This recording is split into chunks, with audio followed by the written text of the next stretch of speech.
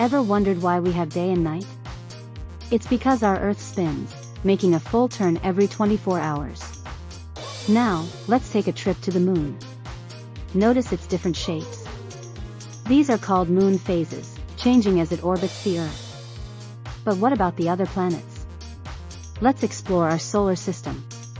Each planet has its own unique features and orbits the sun at different speeds. Isn't space fascinating? But remember, we can only observe it from Earth. So, keep exploring, keep observing, and keep learning about our amazing universe.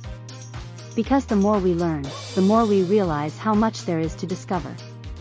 And that's the beauty of space and astronomy.